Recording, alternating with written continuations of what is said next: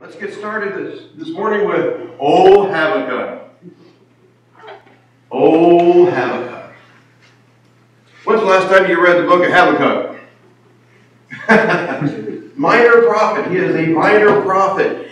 What's interesting about to me about the story of Habakkuk is as a prophet, God's not saying, hey, Habakkuk, go tell them wretched people what I want them to hear.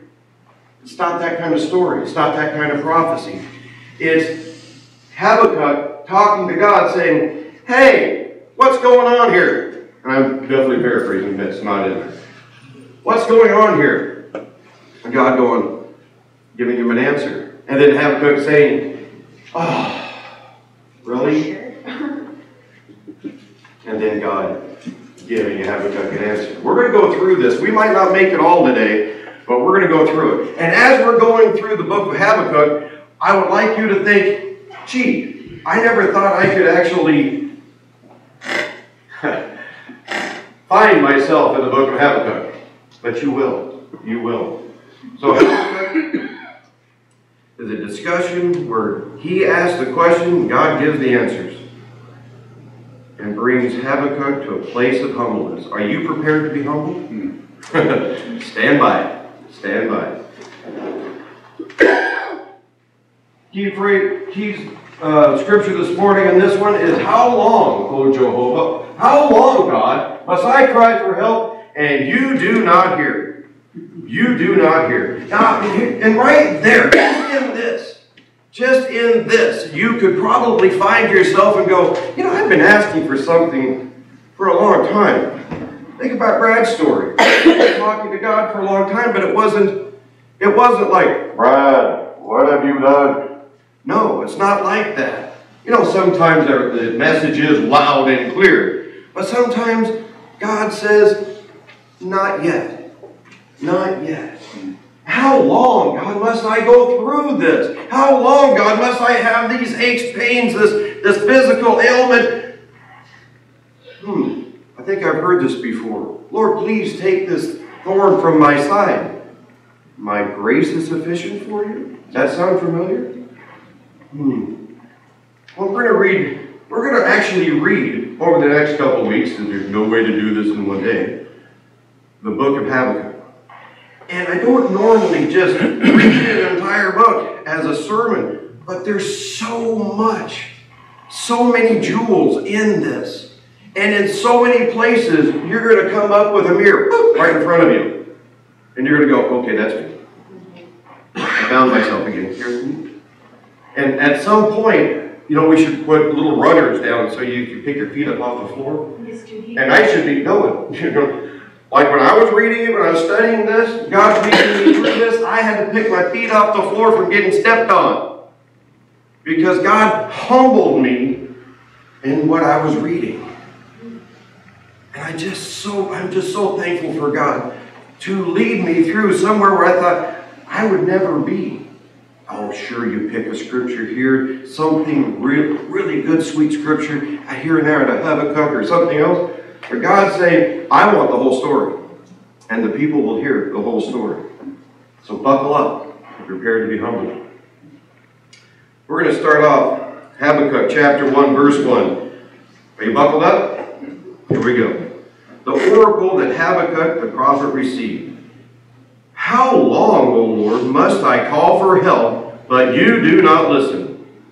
Or cry out to you, violence, but you do not save? Why do you make me look at injustice? Why do you tolerate wrong? Destruction and violence are before me. There is strife and conflict abounds. Therefore the law is paralyzed. Injustice never prevails the wicked him in the righteous, so that justice is perverted. Okay, I don't know which community you live in. I don't know if you read the news, listen to the news, wait for the little text thing, the ghosty thing to come up, you know, however all that works, how you get your news, but you are going to hear today in Seattle, someone was shot. Today in Mount Vernon, some there was a a, um, a robbery. today in Sedro-Woolley, there was a carjacking. And you're going to go, how come this just keeps going? Or how about my house got broken into? And they could not catch the guy. Oh, or how about this person wronged me and there's no justice to this? Or how about that government, you know what they did to me? My coworker. It's away with everything and nothing comes of it. Woe is me. Oh, that three letter word, woe, keep that in your pocket. Stand by for that. We might not even see it for a Whoa. Not like whoa. whoa. Do you find yourself in things happening around you? And do you call out to God? All these things are happening, and you like roll up the shutter of the window and you stick your ear out. Hmm silence. Or it just keeps happening. And you question, God, why is this still happening? Why? Why? Oh, why me? Well, Habakkuk, you, you notice? He didn't say me. Interesting. Did you, you notice he hasn't dialed a friend yet? He hasn't called on a buddy to say, What do you think? He's talking to God. He's talking to God. And in that, just that, if there's any lesson or any thought that I want you to come out with today, Habakkuk is requesting, petitioning, asking, pouring out his heart to God. What we've been talking about the last few weeks is faith and trust believing the one who is believable and who is trustworthy. That is God. Habakkuk has no doubts of belief in believing in God. He's relating with God. He's saying, How is this happening? How why is this going on, God? So in that, where do you put your trust? Where do you direct your petitions your complaints, your wants, needs. Is it this way? Or is it this way? Who can help on earth that God has not sent?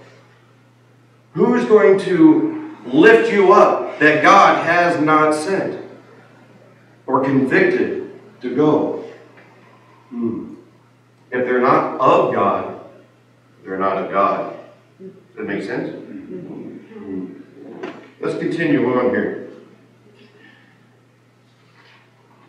God answers, Look, look at the nations and watch and be utterly amazed. For I'm going to do something in your days that you would not believe. Look among the nations, observe, be astonished, wonder, because I'm going to do in you something in your days you were not you would not believe if you were told. How would you? Has that ever happened to you? Have you ever, you know, somebody told you, y'all ain't going to believe this. Wow. I just saw me a 30 point buck. Oh. you see if you're awake. How about if God said, I am going to astonish you. I am going to make you wonder and be amazed at what I'm about to do. Do you read His Word? Every time I crack the book, I get astonished, amazed when I think that He would save a wretch like us. That He would take the time to love me first, and He would send His Son to save me. I'm astonished and amazed. What does Habakkuk, what does God tell Habakkuk?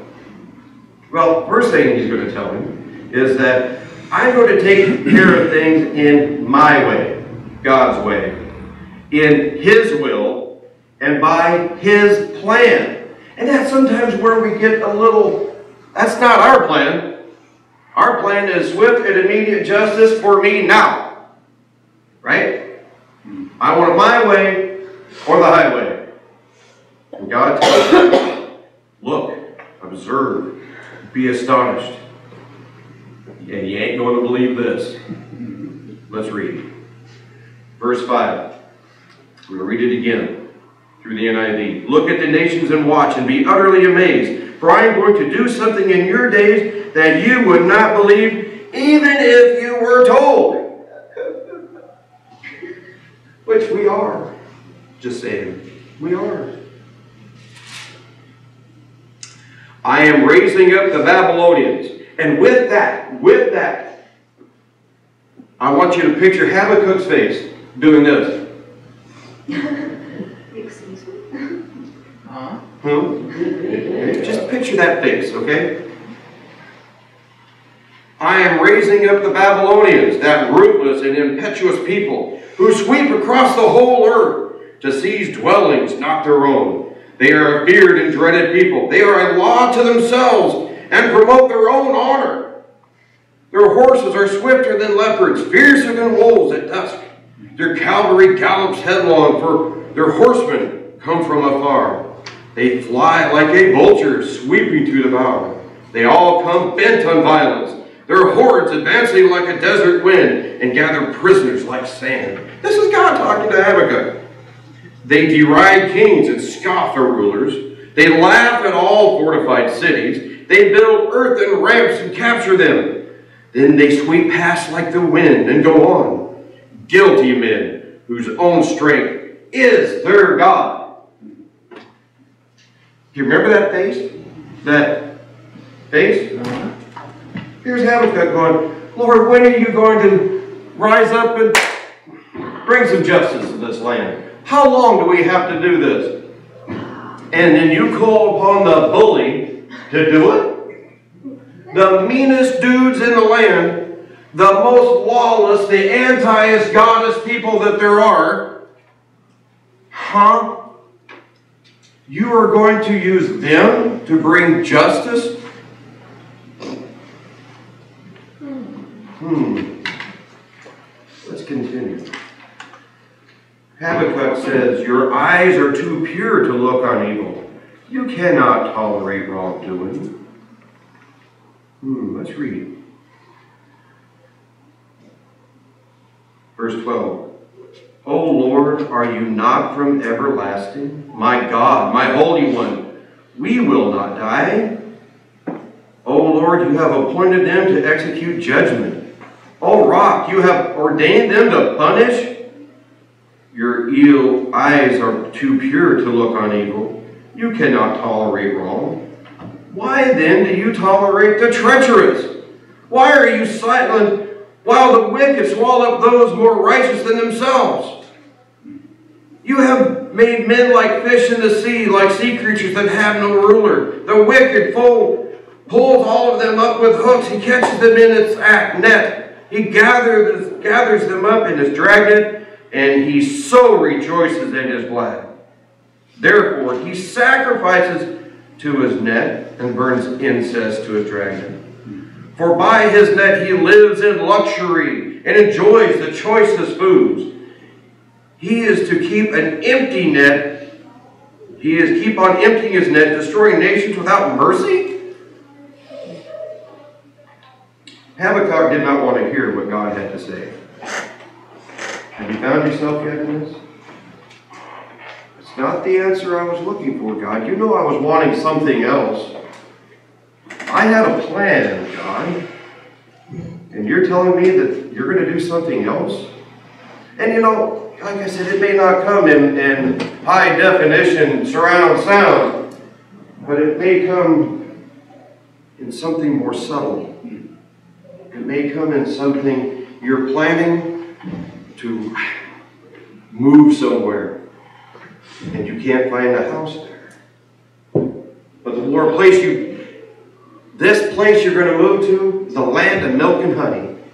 Every lawn is green, the streets are clean, everybody walks around with a smile on their face. I got to live there.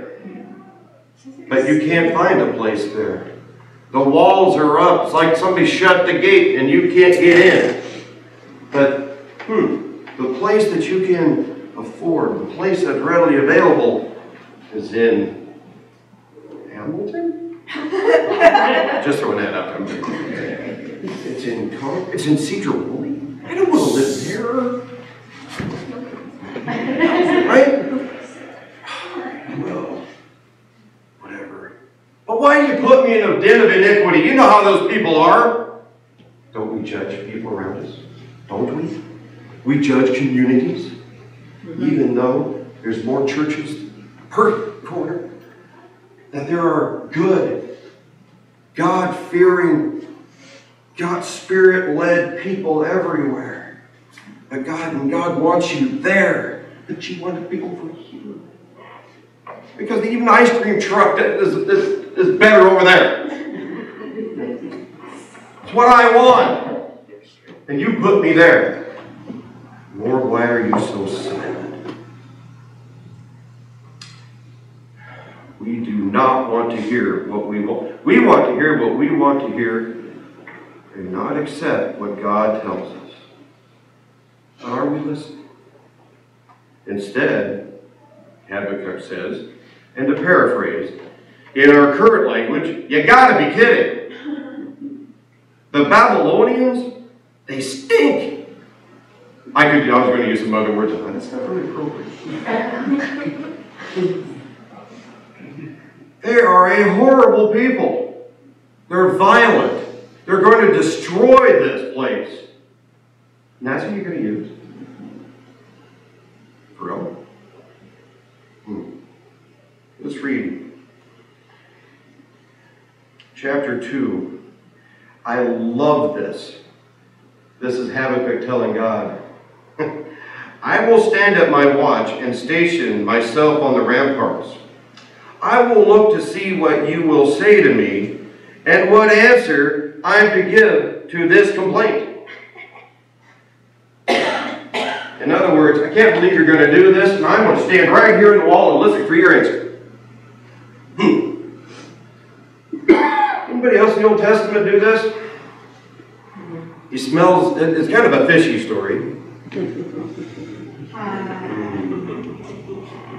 I'm just going to go sit under this bush and wait for you to destroy this place.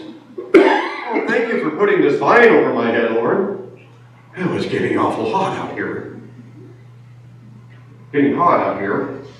Why is this vine burning up and my head starting to scorch? Oh, Lord, you're humbling me. The end of Jonah. Not his end, but end of hmm. Do we do that?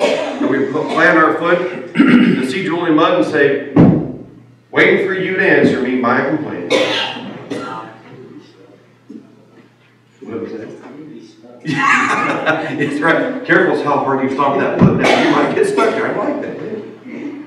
Hmm. Hmm, hmm, hmm. What do you think? God, you're too good for them. I can't believe you're going to use them. Hmm. Let's look at our next. But the just shall live by his faith. Let's continue to read. We're going to end it here in just a moment. the Lord's answer. Then the Lord replied, Write down the revelation and make it plain on tablets so that a herald may run with it. For the revelation waits an appointed time. I love that, appointed time. it's usually not my time. It speaks to, of the end and will not prove false. Anything God says is true and trustworthy and will not prove false. Amen? Stand by. Though it linger, wait for it. It will certainly come and will not delay. Remember back a few weeks ago, I in song I used, in God's time He will God will make everything beautiful in its time. In its time. Although it may linger, do not wait. Though it linger, wait for it. It will certainly come and will not delay. Verse 4 See, he is puffed up. Now, this he he's talking about, he's really talking about the Babylonian king in reference to all of Babylonia. Okay? So just want to make sure that's clear as you're reading that. He is puffed up. His desires are not upright, but the righteous will live by his faith. The righteous shall live by faith in God. So, faith means what? Somebody give me the, the Hebrew the Hebrew definition of faith. Remember? What does it say in the Hebrews 11 1? Somebody turn to it real quick. Isn't it faith certain of what? you do not see? Faith is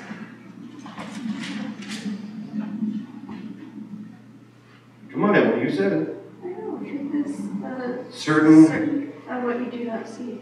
certain of what you do not see. You have proof. You have it. It's right here. Faith. God said it. God's proved it. God's going to do it. It will come. But he says, the righteous will live by his faith. Indeed, verse 5, indeed, wine betrays him. Talking about Babylon. He is arrogant and never at rest, because he is as greedy as the grave, and like death is never satisfied. The greedy, the unrighteous, are content, continually hungry. They will continue to feed this. Do you know that the grave is never satisfied? It is constantly waiting, constantly wanting to be filled. Hmm. I just want you to sink that in. So you just write that one down. I'd like you to ponder on it this week. We're going to talk more about that.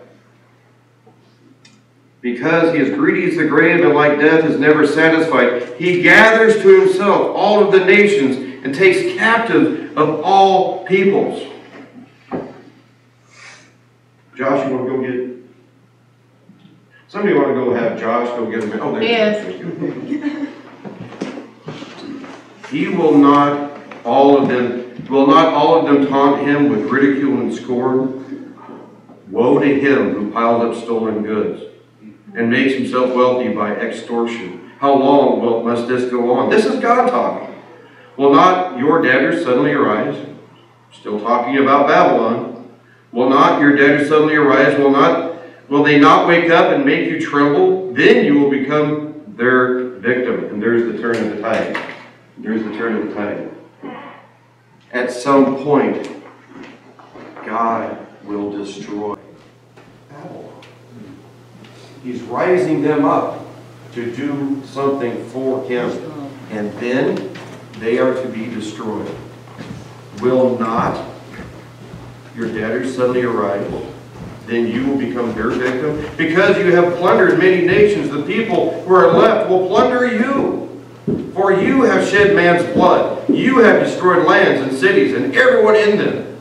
Woe to him who builds his realm, realm by unjust gain, to set his nest on high, to escape the clutches of ruin.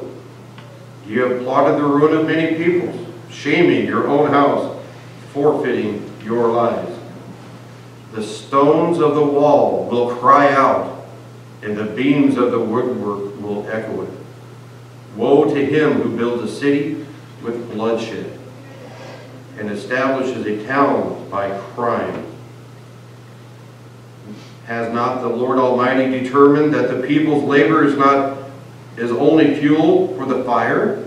That the nations exhaust themselves for nothing? For the earth will be filled with the knowledge of the glory of the Lord as the waters cover the sea. Let me read that one again. I know I'm getting long-winded here. I want you to listen to this. Verse 14, For the earth will be filled with the knowledge of the glory of the Lord. I'm going to step back real quick and read, Though it linger, wait for it. It will certainly come and will not delay. Hmm. Woe to him, verse 15, who gives drink to his neighbors, pouring, pouring it out from the wineskin till they are drunk, so that he can gaze on their nakedness. You will be filled with shame instead of glory.